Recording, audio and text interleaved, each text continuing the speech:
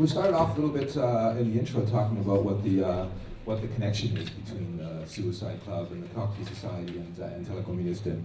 Uh, and for me, that's a kind of that's kind of that's a very sort of personal trajectory because uh, because Telekommunisten was only founded in 2006, but during the period that uh, that John was describing, I was also already quite active in, in, in many in many projects. Um, including a lot of the projects that, uh, that John mentions, at least the Toronto, uh, the Toronto impact that those projects had, and uh, and as well as a lot of the projects in the uh, in the exhibition that, uh, that John's put together. Uh, my collective in Toronto, my pre-telecommunication collective, Ideas and Tactics, hosted Luther Blissett stuff. We hosted Cacophony Society stuff. We hosted all kinds of all kinds of things that had to do back with that back with that time, including uh, Happy Clown, which was a kind of a elite crashing project, uh, Audio, which was uh, um, uh, independent music uh, sort of organizing collective that did pirate radio and lots of events. Um, and uh, during that period of time, I really kind of believed that the internet was not only this interesting technology that was fun to use and promoting kinds of cool things in the company side, other projects that were going on, but it was kind of like an existential um, threat to capitalism itself. That uh, that it uh, that it uh, its embodied its embodied forms. Um, the, the, the kinds of communication it enabled, the peer-to-peer uh, unrestricted communication it enabled, kind of went hand in hand to this like what I you know what I felt was a massive uprising that was going on all around me at the time, from culture jamming to reclaim the streets. Like uh, there, there, was a period of time in the late 90s where it really felt like big change was coming, and uh, and the internet uh, was was was a part of that, uh, or seemed a part of that. Um, unfortunately. Uh, some of you may remember that it didn't work out so well. The, uh, our, our massive anti-globalization movement was literally clubbed to death. The internet was entirely bought by capital and transformed into centralized platforms like Facebook.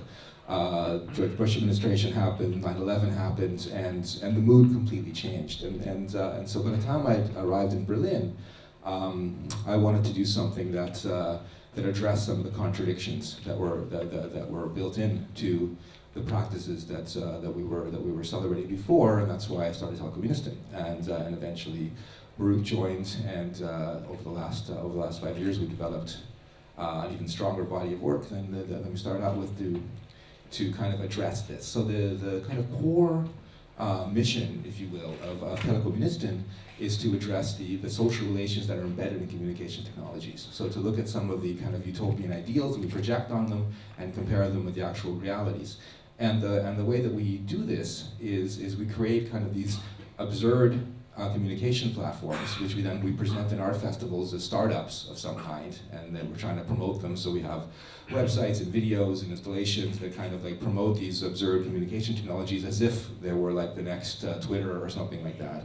And uh, and and and uh, unlike other artworks. Uh, um, you know, continuing on the kind of techniques that we were using in the, in, in the mid 90s, our artworks always involve somehow getting you to do something, somehow getting you to be part of the network. So, so that the network is composed of the people that uh, come to see the exhibit. So they become, they become nodes in the network itself.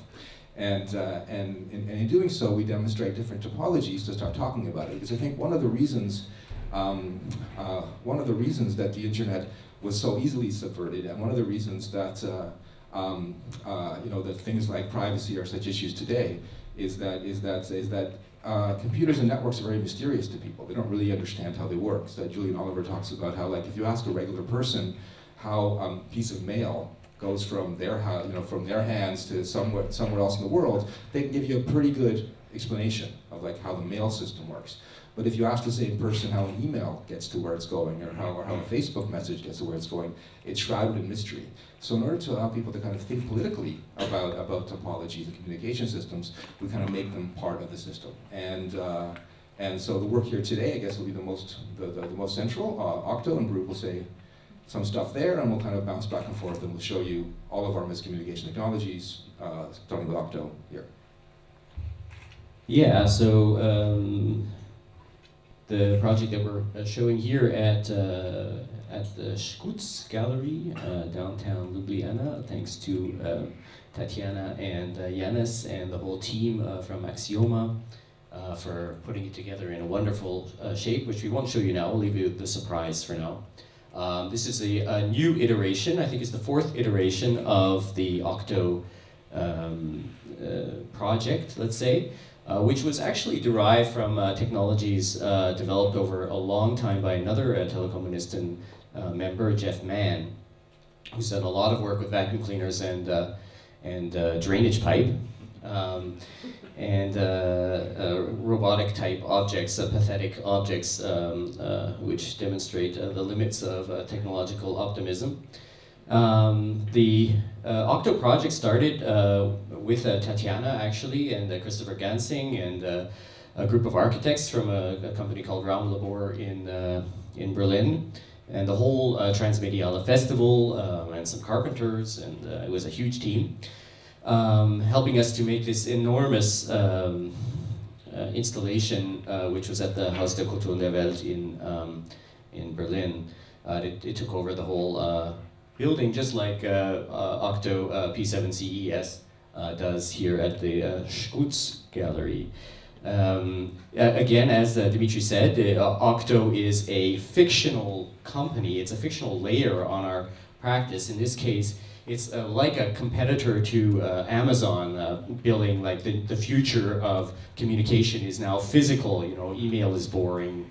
Uh, we're going to like get the real palpable, sensible stuff that you, you, you can't get from email and you can't get from Facebook. You're gonna get it directly in your hands and uh, you can get your mother's cooking, you know, delivered directly to you.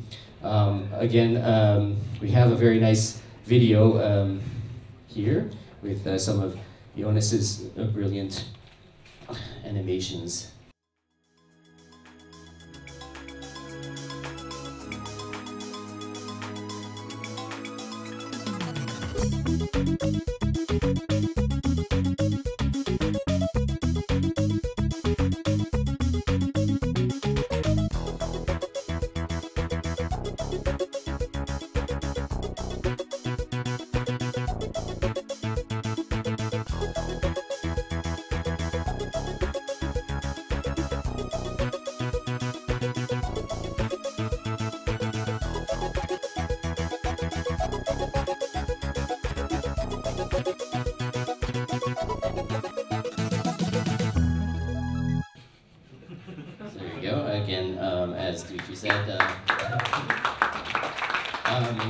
as you can see, we, we launched it as a uh, crowd uh, funding or a crowd investment uh, opportunity uh, where you could um, uh, join. And you can see that we had a very uh, high goal because the, one, of, one of the critiques in that is that um, you know, these, these things can only be funded by large scale capital and small um,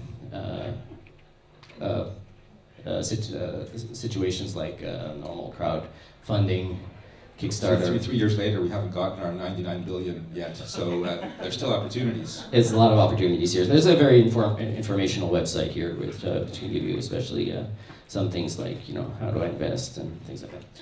The critique in this one, of course, is that, okay, we, we, we offer you these, this fantastic new service, Octo offers you, uh, this fantastic new service, but the service is centralized. It, it, to ensure high quality service, of course. We don't, we don't centralize security. Security, yes. So we have, um, uh, so every message that has to be, uh, that is sent through the system, you have all these remote stations, comes back, comes back through a central station, at which point there's an operator who can like, uh, take capsules out of the system, look at what's inside, censor them, insert advertising, uh, do any kind of inspection. And, and, and the, the, the, the, labor theater is also a big part of uh, what we do, making the people in the audience and the people in the gallery that are that, our works our installations always involve a lot of work for those for those that are doing it. So this and this of course is meant to challenge this kind of uh, uh, utopian idea of the immaterial labor of the internet and how the internet is somehow this weightless thing that exists outside of the natural universe and isn't based on mining and electricity and labor. So so we want to make the labor very uh, very evident. So we try to make as much of it as possible. So you can see this uh, lovely uh, designed uh, um, console here by, uh, by Jeff Mann. Um, uh, and this has the two vacuum cleaners inside. One is pushing and one is pulling. And when you when you send the messages in, they they will they have to connect the this large patch cable here to the to the device. And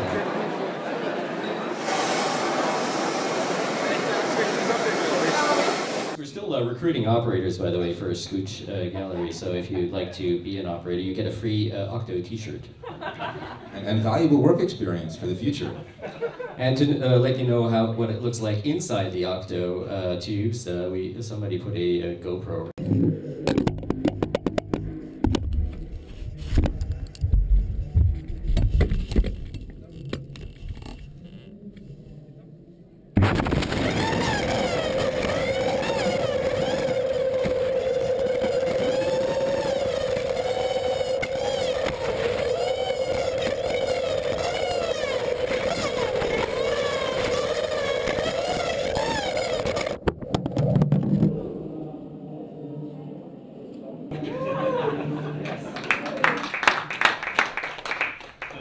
All right, uh, Octo at Transmediale, uh, the official miscommunication platform of uh, Transmediale. We did uh, uh, uh, Vittore, uh, who is also here. Um, hey, uh, Vittore.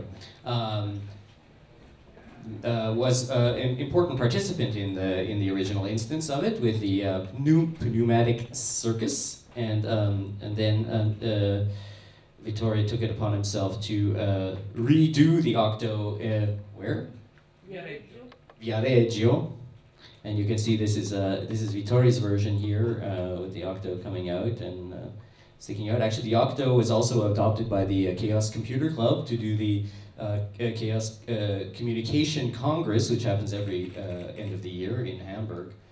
They do a very elaborate, very hacky version of it without.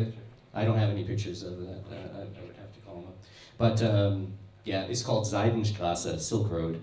And uh, if anybody's interested to see uh, one more in action, there's a, it, it'll be at the uh, at They, the camp. they, they got some, they got some press with that by uh, saying the first uh, Bitcoin donation to WikiLeaks over pneumatic tube. I'll, I'll try to. That's true. um, we did a, uh, so just to show another system, uh, we did a, uh, uh decentralized system. Um, this is the, uh, from um, Athens in Greece. Uh, we, we, we set up a system that uh, did not go through a central station where we put the vacuum cleaners in these, these boxes. And uh, every, every uh, apartment in this uh, space had their own system. It was a, very, very chaotic system, as you can see. Um, it also went across the street uh, to the, the neighboring cafe. We were ordering coffees through Octo. That was always an ambition to, like, you know, show that come true. Of course, in Greece, you, you could do things that we can't do in Germany, like run a, a tube over a power line like that. That was, or like it just uh, we didn't ask any permission. It was quite. Uh, And, but, but of course, uh, even though it was decentralized, all participants had to sign exclusivity agreements with us that uh, you know they were only allowed to connect authorized authorized use to the network and not duplicate any services we were providing ourselves. Well, yeah, of course. Uh, this was a, one of this was built, built as Octo apps, whereby you could like emancipate yourself from your terrible job by you know doing something you like, uh, contributing to this uh, this uh, this economy of pneumatically delivered goods. So if you make I don't know jewelry or whatever, uh, you can like you can be sending it through the the Octo apps. Of course, we would take a, a cut of all of the. What you make. Um, and this was, uh, unfortunately, we don't have a lot of photos of people screaming and yelling uh, in confusion because uh, it was extremely hard to organize this as, as people who work in very flat uh, to- topological organizations know that uh, sometimes it's, it's really hard to get everybody to work together at the same time. Uh, it requires a lot of diligence um, and dedication.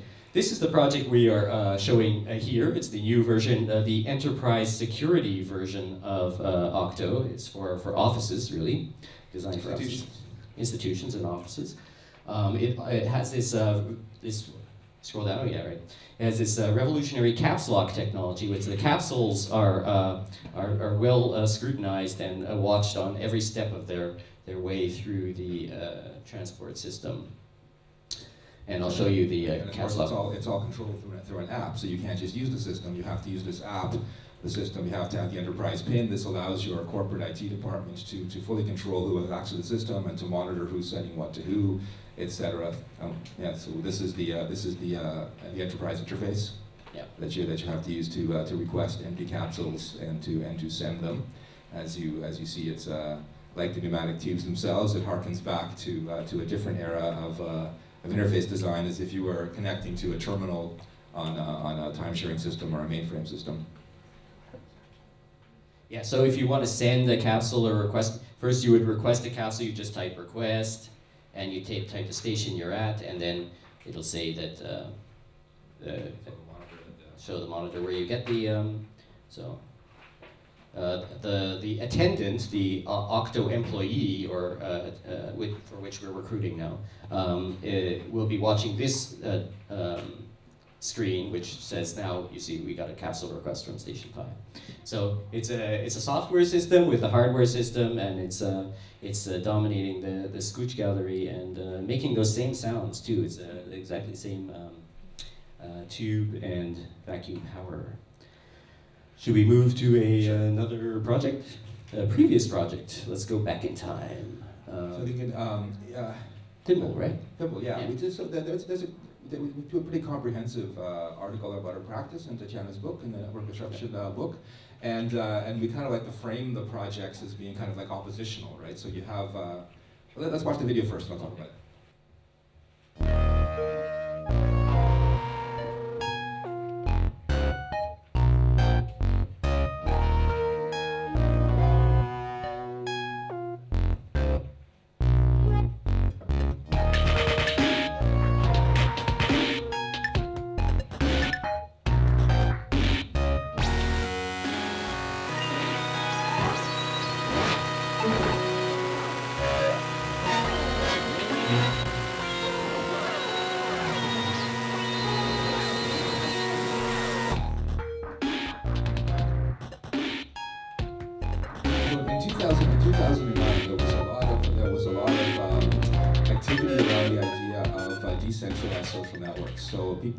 Reacting to the like the, the first wave of uh, privacy concerns and centralization concerns and monopoly concerns around Facebook.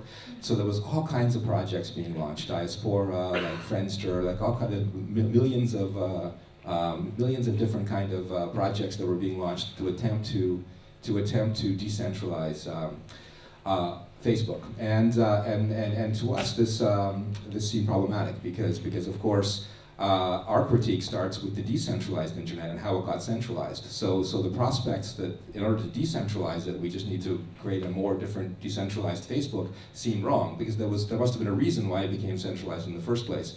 And so in order to, in order to kind of uh, um, address that actually this history is backwards, that the internet was already decentralized, and that these new platforms are centralizing it, that we don't need to create a new, new decentralized version of this like kind of cargo cult versions of, uh, of Facebook that are decentralized. Um, so, so we created uh, yet another startup, Thimble, that, uh, that was a decentralized social platform, and, and you, you may have noticed in there that it says it doesn't need any software. And the reason why it doesn't need any software is because it's entirely based uh, around um, a protocol from the 1970s called, uh, called, called Finger. So, that, so the, the, it, the Finger protocol already existed since the 1970s. It was already a way to like publish, uh, publish uh, status updates uh, that's been running for decades, right? And so, and so uh, we want to address the question of like, why don't things like that, um, you know, flourish, and why do things like Facebook flourish in their place? And, uh, and so the, the, the, critique that we offer in the manifesto and in that project and others is that, of course, these are economic reasons. And this is, and, and this is also with Thimble is where we really started about this idea of, of social fictions, of creating products that technically worked, because there was nothing about Thimble that didn't technically work, right? It's just a client for the finger protocol, which has been around forever. Um, but it doesn't, it doesn't work because it's, uh, in order for it to exist, the, the social economic conditions in which it exists have to change. The, the environment of, of capitalist ownership of, of media platforms that requires centralization in order to make profit has to change. And we have to find new ways of, of building and supporting uh, communication platforms. So this is why so this is why Thimble is a, is a social fiction. So um, so that's so that's kind of very much in contrast with the kind of dystopian social fiction of Octo, which is a completely centralized system where we're directly critiquing, uh, where we're directly critiquing um, uh, existing platforms by sort of illustrating their true nature more physically with vacuum tubes instead of instead of with like pneumatic tubes instead of instead of uh, software. Um, uh, Thimble is an implicit critique of kind of uh, um, unfortunately naive alternatives that think that that think that uh, all we need to do to overcome these multi-billion dollar uh, organizations is simply is simply write a different version of that in a different way with with, with no funding, with no support, with no uh, right. That it's just a matter of, of code. And it's still seen as uh, by a lot of people as being like a real alternative. Absolutely. It's listed even on Wikipedia, I think, as a as an alternative social network. Mm -hmm. Um, so and as some people joke, it's actually more real than the ones that claim to be real because it, it's it, you know it actually it actually works. It actually works. This is um, one of the uh, uh, like Twitter-like feeds that uh, that was built on the Thimble protocol. This is Thimble Simple, Simple Thinking. This is one of the one of the clients that was made uh, by some random person uh, that uh, decided to make a client for this new protocol that we that we established. So this is like they had like a global timeline and known users and sort of had like. A, but of course, this is not a centralized thing. So this the, the, the list of users listed on this timeline is just the ones that are known about by this. Uh, by this particular instance, it's, uh, it's, it's it, it, can't be a global list because you can't know uh, what the global list is. So we got 10 minutes. We'll move on timeline. Um, another uh, question we deal with uh, more intensively as we go along is, uh, you know, why, well, another reason why we, we can't have the internet we want is also uh, the question why we can't have the handsets we want, why we have uh, this, this situation now, which is uh, increasingly common, where we find that the, the, um, the, the equipment that we're using itself is spying on us, is a, is a privacy, there are privacy issues there, there are vulnerabilities. And why is it happening again and again? You know, why, why do we have this like hope? Okay, we're going to solve it, and then it, it the hope is is uh, is dashed uh, by circumstances. And of course, uh, the uh, our, our materials critique will, will say that well, of course, we can't uh, have uh, liberating technologies which are built under conditions which themselves are highly hegemonic, highly hier hierarchical, and abusive and violent even and uh, pers persistent in ways that uh, have uh, not changed since uh, the Middle Ages in some cases.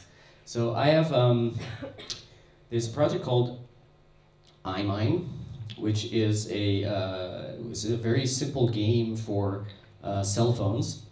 Um, in this game, you play the miner mining the minerals for your cell phone. And the game is ex extremely uh, simple, and it. Uh, I have a little video. Where is that video now? Oh, maybe here. You kind of shake the uh, phone, and you get a gram of mineral. And then uh, you just shake the phone, and you get a gram of mineral. And uh, that's all about what you can do with the um, uh, game until you die so at one, so it's a, it, it tries to uh, like uh, you do actually have to physically quite work quite hard to get that one gram, uh, and uh, after a while uh, you uh, either get tired and you stop the game for a while, or you you have to um, mourn the death of your character. Each character that you create, you have to name it and give it a birthplace and everything. There's a little bit of an elaborate identification ritual with the with the characters too. And uh, yes, so that the idea is that um, uh, um, we cannot have um, utopian or um, uh, another form of world without addressing the conditions at the base of the production chain in electronics. There is a old version of it that's still kind of operated, but operating anyway. You don't really get very far, and it's it's a it's a um, uh, an instance of what we call dismalware, which is a kind of a software which, uh, in, in English we have this word dismal, I don't know what the word is in, in Slovenian, but it's kind of miserable ware. And it's like, uh, it's like software which just is not happy to be there in the first place. And uh, it just, it's actually not a very fun uh, uh, project. And like, it's, it's really hard to promote. And actually I had a, had a problem with the, the Yes Men because they, they told me that it's, it's not viral enough. And I said, well, I don't want to go viral with this because it would simplify the message. And the message is incredibly complex and, and, uh, and miserable. So uh, we, we couldn't come to terms with uh, um, going viral on this one. So R15N? Okay, so R15N, you want to... Yeah. So, uh, so yeah, like, so iMine is kind of an implicit critique of the mining industry and the supply chains in, uh, in production, but uh, also around the same time, Uh, we had like uh, the so-called Arab Spring and and and uh, and and and the the manifestation of Twitter revolutions and. Uh, and, uh, and this sort of thing, where like uh, where like PR departments of Twitter and Facebook were presenting their platforms as if they were actually causing revolutions abroad and overthrowing and overthrowing states and you know creating revolutionary conditions. And uh, you know, we wanted to emphasize that actually, like, uh, organization on the ground is what creates those conditions, not uh, not the not the mediums they happen to use because they're there, right? Uh, you know, so so you know, in the, during the Iranian Revolution. Um, uh, people were distributing messages on, on cassette tapes, but nobody ever called it the cassette tape revolution, right? And, and, and you know, like, uh, and people have been using technology as in the course of their activities always, but the technology has never been given the agency before of like that it actually caused the revolution, not the organization of the people. So we wanted to create such an, such an emancipatory technology, one that would allow people to mobilize communities uh, and so, uh, you know, going back into our like our toolkit of ancient technologies, we decided to uh, resurrect the phone tree, which was a, a technology that that, that um, in Canada would be used on a snow day if you're if you weren't allowed to go to school because it was snowing. Then it would be like every parent would have a list of five other parents, and then it would one one parent would call those five parents, and those five parents would call those five parents. Until every parent had the message that uh, that that was a snow day. Um, militaries used to use it for uh, mobilizations of reserves. Uh, it was it was very common in pre-internet days as a way as a way to as a way to send send a message out to a community. So we wanted to you know kind of Twitterize it, make it into kind of an emancipatory platform. So we'll we'll, we'll play the promotional video for that now. As usual, it shows that you really do need a lot of uh, diligence uh, to be a, an activist. Uh, it's not uh, just a given. R15N. R15N will help you get your message out.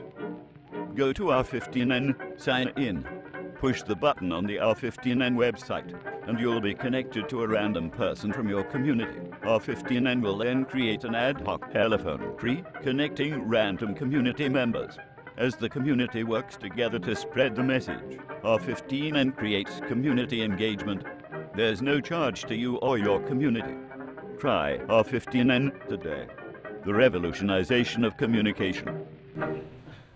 In using that, in using that work, R15N is, is, is, is probably the most antagonistic work ever made because it's like the whole exhibition is just meant to get your phone number, and then as soon as you call it, as soon as you put your phone number in it, it doesn't stop harassing you. Like you you start getting phone calls like every 10 minutes from from random people, just hang-ups, like like like people's answering machine would phone you because it would just like call two numbers and stitch them together like like, like continuously right? And so and so it's uh, it really it really made it, it, obvious how difficult it actually was to like make cohesive community. That it, that is not something that you that, that, that, a platform just magically creates. That it requires diligence, and we would always send people text messages, and we required more diligence. this is the, uh, one of the installations at uh, at uh, Transmediale.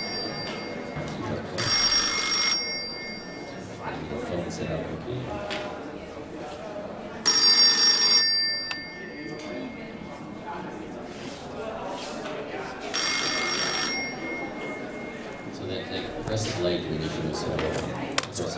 Hello.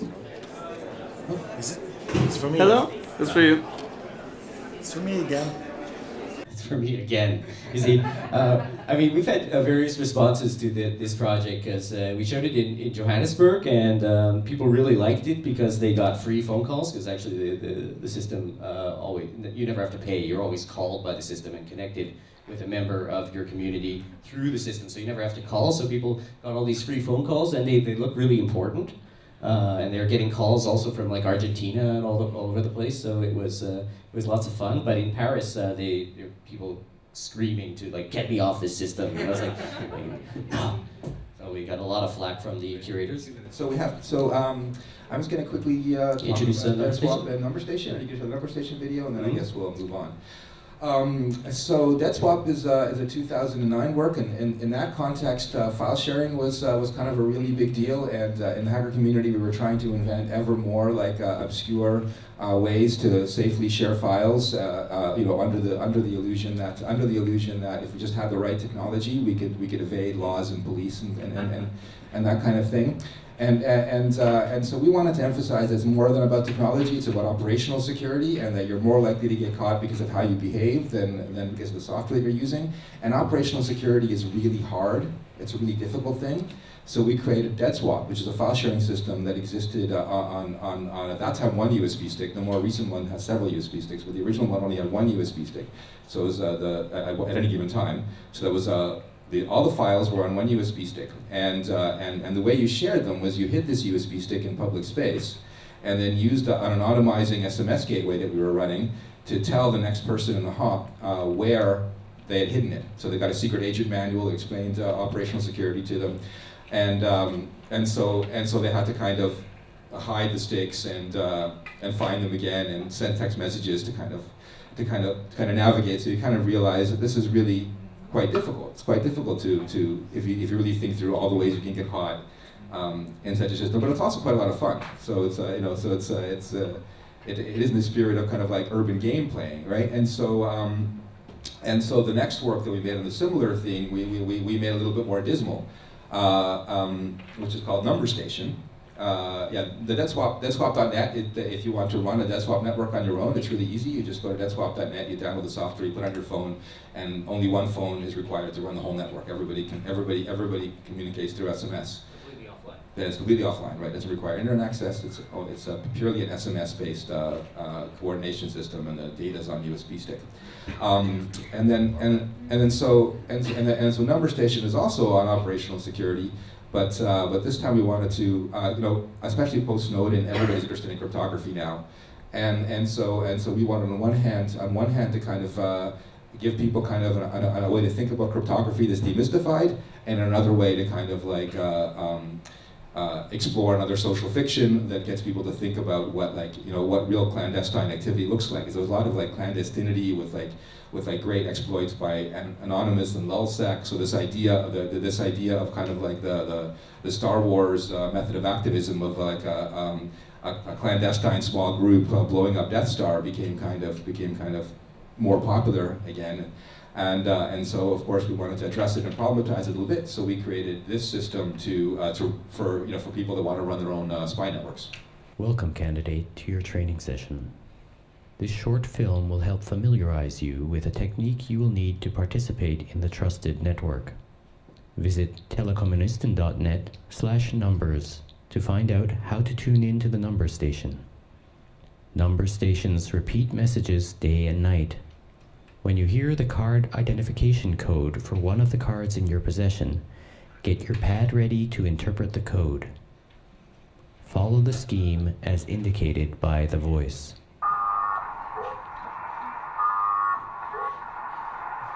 Zero, eight, one, one, so in, uh, number stations were actually like every uh, Cold War participant uh, had a number station, which was a shortwave or several number stations, which were shortwave radio stations seven, C three, eight, C two, nine, A one, A B one, B C one, C C one, D A four zero, A one, one C one, two A four, three C four, four B four, five C four. Do the modular arithmetic, mod 10. Decipher the phone number to call for further instructions. Congratulations! You have completed the first phase of your training. Welcome to the numbers community. Right. So these uh, these number stations were actually shortwave radio stations during the Cold War, where people were um, uh, where spies were kept uh, kind of uh, simultaneously informed through these number broadcasts. They were just like uh, people reading numbers over the air. And then sure some of them are still in the air. Yeah, and uh, we tried we we tried to imitate the kind of the interference there a little bit, but again, yeah. Um, uh, the uh, objective was to uh, get some uh, members uh, for our spy ring, our, uh, our secure spy so ring. if you want to join our clandestine spy ring, exactly. you have to go to number station, and then you have to wait for the broadcasts. Have your have your pads ready and wait instructions.